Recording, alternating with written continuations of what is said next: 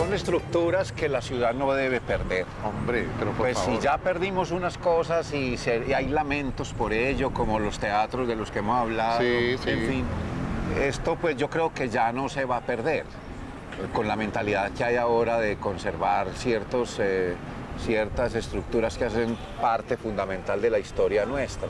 Esto tiene un patio o una plazoleta central. En esa plazoleta central hay una fuente que fue importada del Parque Bolívar cuando Resolvieron eh, poner a Bolívar allá. Sí, acuérdate pues que en todas partes de Colombia hay un Parque Bolívar. Hay un parque. y, sí, sí. y- y hay, y hay diferentes monumentos del Libertador. Entonces, los parques, cuando esto era un pueblo, tenía su fuente, como Eh, buen parque de pueblo. Esa fuente, pues hay una réplica, no sabemos cuál Sí. es réplica de cuál. Sí, así Eh, es. si la de aquí es de Santa Fe de Antioquia o la de Santa Fe de Antioquia. De- pues debe ser. Es Esos decir, son- esos son la los- de aquí debe ser réplica de la de Santa Fe de Antioquia, donde está Don Juan. Esos son los mitos fundacionales. Pero es que mira que es monumental. Pues es la Hermosa. fuente. Es la fuente. Claro, así es la de Santa Fe, que detrás o adelante está Don. don del Corral, don Juan del Corral, Juan del, Juan del Corral. Que entre otras cosas. Juan del calle- Corral es una avenida que está aquí. Pues esta una calle que está acá. Que da frente al hospital, llama la avenida Juan del Ah, Corral. Es que yo la par si te acordabas. Dada la precariedad de la época, la gente iba a los hospitales básicamente era morirse, no aliviarse. Pues porque la medicina tampoco pues estaba muy desarrollada. Y no había la medicina preventiva que hay hoy en día. Sí. Entonces cuando usted ya estaba en las últimas, iba a un hospital, allá se moría y allá se encargaban de usted. Entonces la idea era hacer un hospital como los que existían en Europa, que había hospitales de guerra y hospitales de caridad y hospitales para gente con dinero. Era reunir como todo en uno. El San Vicente fue algún tiempo un hospital de guerra.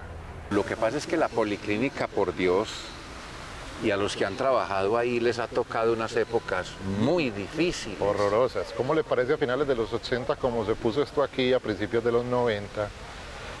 Todos los heridos, muertos y combatientes de aquella guerra absurda que vivimos venían a parar aquí a la policlínica. Es más, en la policlínica se vivieron muchos eventos dramáticos porque la guerra la seguían adentro. Entonces venían muchos heridos, gente Ave María. venía aquí a armar su balacera. Incluso las personas que estaban internas muchas veces hubo pues actos de violencia dentro del hospital. No, y venía uno y encontraba las filas de heridos en los pasillos porque no había dónde alojarlos. eh, la cosa se puso muy difícil. Hay una historia específica, con- la cuento así rápido, de dos pelados que llegaron con un herido.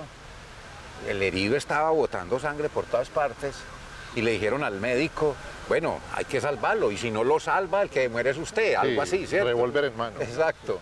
Y el médico hizo lo que pudo, con miedo, pero se concentró en su conocimiento médico y bueno, le puso, le hizo al muchacho lo que, lo que había que hacerle, pero al muchacho había que tenerlo ahí. No, los, los otros dos dijeron, no, es que nos vamos con él y se los llevaron. Así es. Y saliendo del hospital, de la policlínica, llegaron en una moto otros dos y acabaron con los tres.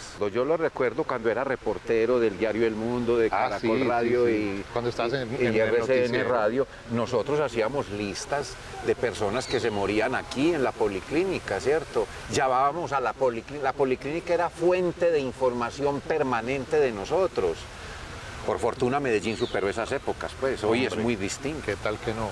Eso lo que dice es que el hospital ha estado abierto y dispuesto a lo que la ciudad necesita. Que era el objetivo cuando se fundó. Cuando se fundó, eso que fue lo que pensó. a todas las personas, los hijos de Antioquia, esa frase tan bonita, los hijos de Antioquia los recibieran acá en el hospital. Ese fue el propósito de don Alejandro Echavarría.